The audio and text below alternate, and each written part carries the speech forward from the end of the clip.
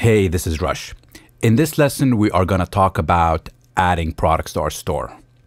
All right, let's talk about our new push to store feature, which allows you to import any of these products that you see here uh, straight into your Shopify store with one click. So let's go through the process of how to do this.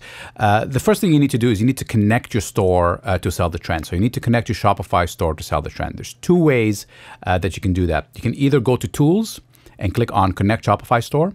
And at that point, it's going to ask you for your store URL. So that will be www. whatever the name of the store.com, or uh, or you can also give it uh, if you don't have it uh, uh an actual domain name yet, you can connect it to your uh, uh, Shopify URL that Shopify gives you, which I'll show you that in, in a second here. So that's one way of doing it.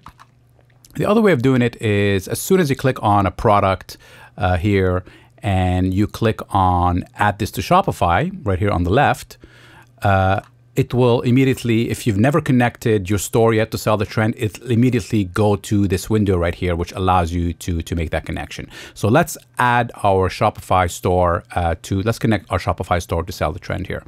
So let us grab uh, the URL. So this is the URL that you would really need to do here. So if you're in, in your Shopify uh, admin section here, uh, just the domain name right there without any of this extra stuff here at the bottom, at the end, just the actual domain name all the way to myshopify.com. Let's grab that, let's copy that, and let's us click on here, put that in here, click connect store. What it's going to do at this point is, it's going to take us back into Shopify and uh, it's going to basically ask us if we want to connect Sell the Trend uh, to our store. Of course, we want to do that.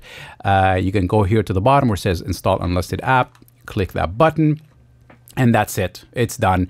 Uh, your store is now connected to Sell the Trend. So let us go back into Sell the Trend and start uh, adding products. Let's go to On the Rise and let us go to highest and let's find us a product here. Okay, let's let's go with this product. Okay, so uh, like we were doing before, uh, the way we get to our push to store, to add this to Shopify, we click on this button here on the left. And now since we've already connected our store, it's going to open up our push to store uh, window that allows us to uh, specify everything that we need here.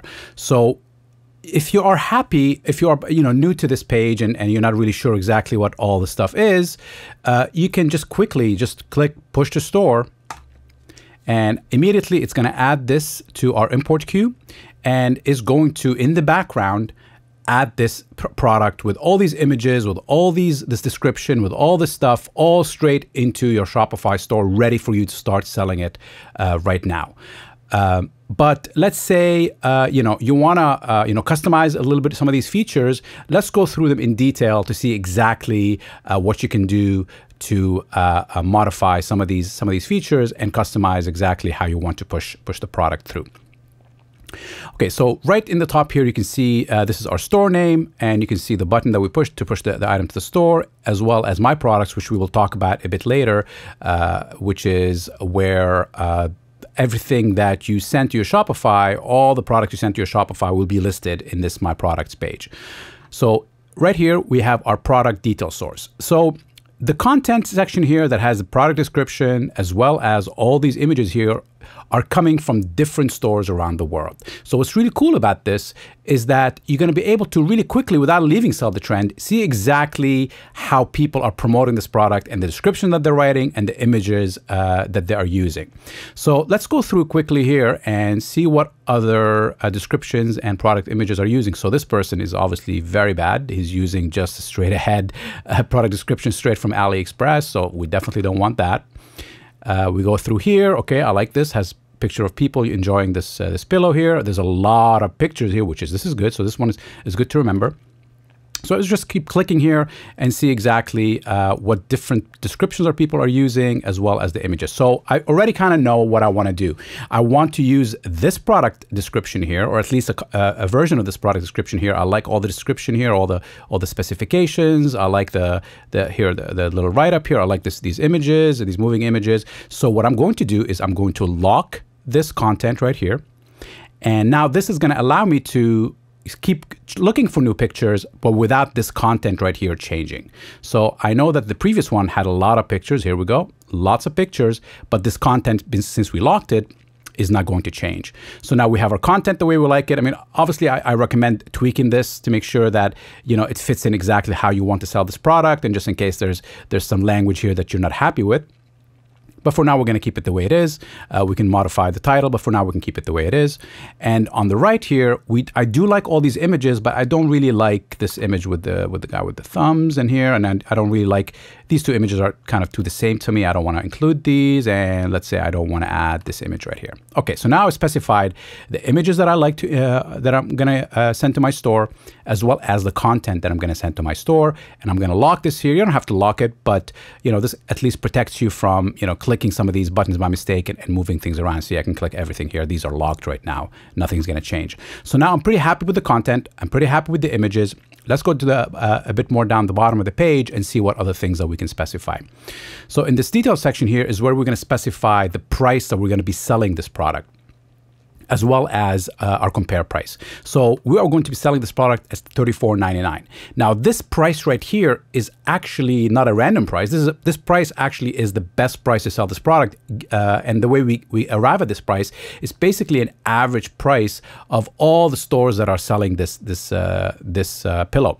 And there might be even more stores selling this pillow in our system, but we only show you some of the you know some of the top stores here. Or we always show you the, uh, the, uh, the stores that are ranked as well as some other stores for you to have a kind of a, uh, a, a lot of different options, but there might be even more stores selling this product. So this is the optimum price to be selling this product at.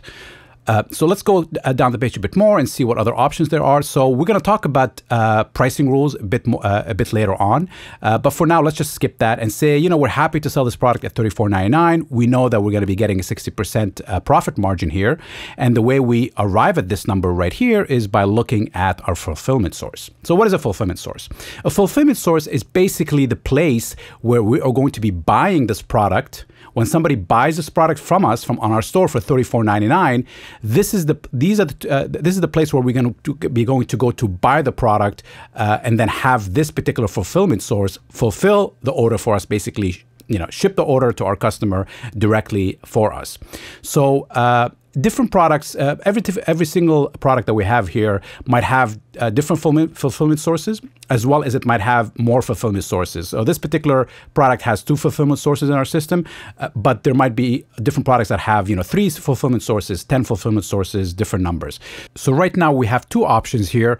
Let's go through them both and see uh, which is the better option for us to add to our store to use as uh, the main fulfillment source uh, for this product.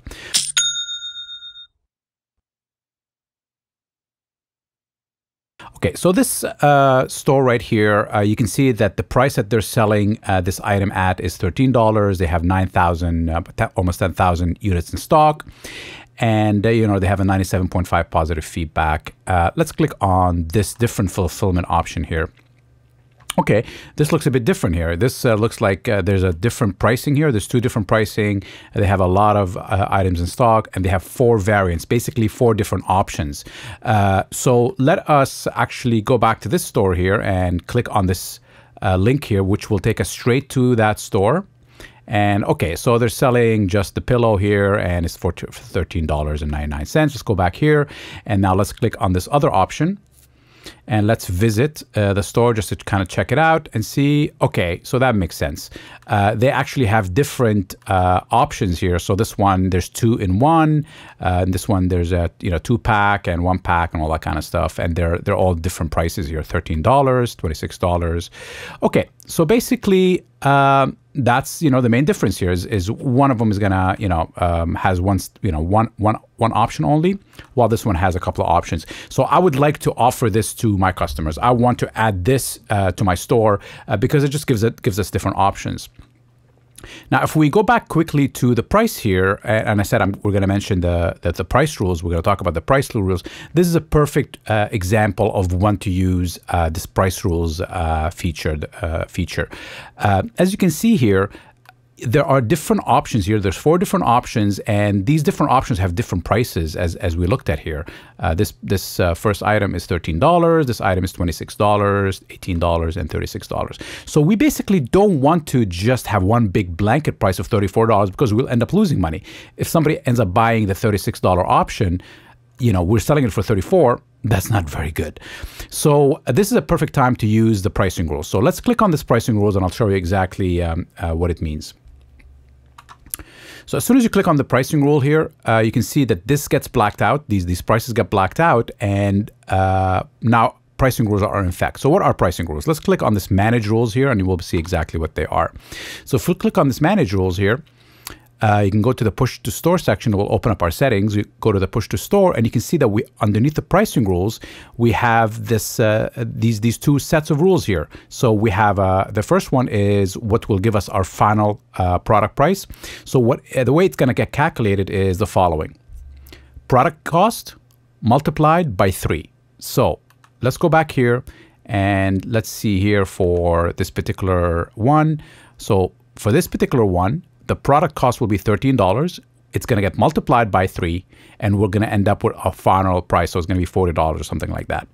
And for this one, $26 multiplied by three, it's going to be around $90, you know, something like that.